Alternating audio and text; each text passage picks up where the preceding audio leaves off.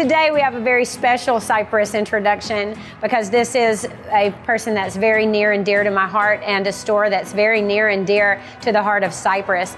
We're at Learning Express Toys of Cypress, the only toy store and the only locally owned toy store we have here in our community. And we're here with the owner, Becky Souther, to talk a little bit about how this last year has been and what the support from the Cypress community has been for their store as a local business. We're approaching the one year anniversary of you and your family buying Learning Express Toys of Cypress and tell us a little bit about what that's been like. It has been the most exciting and challenging year of my life, probably. We went into this in February of 2020 and we were so excited to do something new and be in the community. It was a really fun year. What would you say was the key thing to you having such extraordinary success in the face of such a big challenge?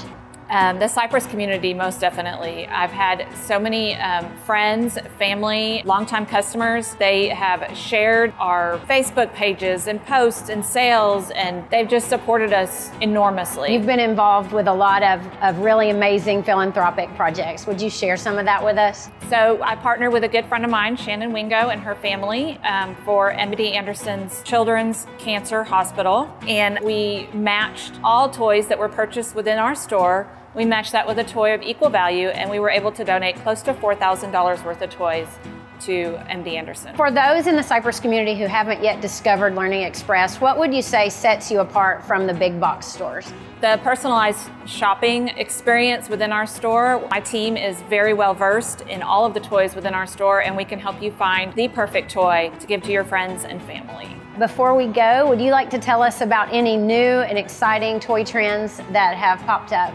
So fidget toys are huge right now. We have Pop Its, we have um, dimples, we have all of those little fidgety toys that are popping up all over TikTok. Um, we are constantly getting new ones in every day. Squishmallows are also huge. We are fully stocked on Squishmallows and we have new ones coming in every week. If you haven't checked out Learning Express Toys of Cypress, that's located right here in the Cinemark Shopping Center. If you have, we know that Becky and her staff are so grateful for your support in the Cypress community.